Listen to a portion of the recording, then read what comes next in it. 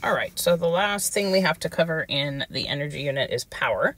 Um, and all power is, is the time rate at which a force does work, right? So it's just basically work or energy over time, right? It's like the rate of expending uh, that energy or producing that energy, whatever, okay?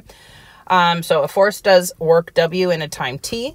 So then basically all you're going to do is if you want just the average power, you're going to do the work divided by the time, okay? And you can find this work through various ways, right? Like force times distance, you know, or it might be the change in kinetic or gravitational potential energy, depending on what the question asks, okay?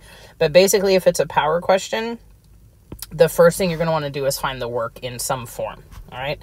Um, and then that's for average, okay? Um, if you want instantaneous, right, we have to look to calculus, and then we'd say power is the derivative of work uh, with respect to time. Okay. Um, the unit is watts.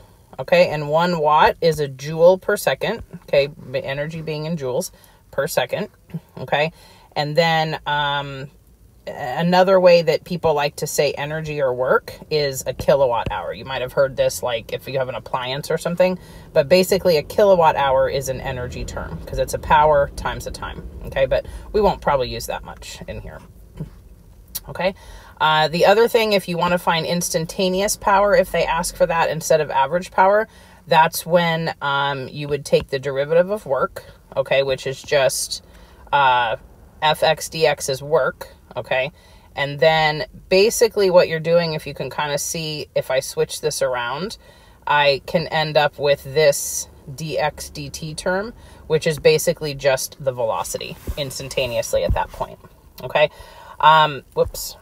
This cosine uh, angle term, right, just means that they have to be, force and v have to be in the same direction, okay? Just like, you know, work and all the other things. All right, that's why it's technically a dot product, okay? Um, so really, you're going to use this force times velocity thing if it asks for instantaneous power. Okay. Um, it seems a little bit confusing, but once you see the examples, I don't think it's so bad. All right. Okay. And then quick checkpoint. This is the kind of stuff they like to ask sometimes. A block moves with uniform circular motion. Okay. So same speed. Uh, because a cord tied to the block is anchored at the center of a circle, right? So it's basically just something moving in a circle. Okay. What's the power? positive, negative, or zero. All right. So just like we did before, if that force is inward and that velocity or the displacement term, right, is going to be tangent, those are not the same direction. Okay, so that means the work done is zero, therefore the power is zero. Okay, so remember, anytime those are perpendicular, it's going to zero out. All right.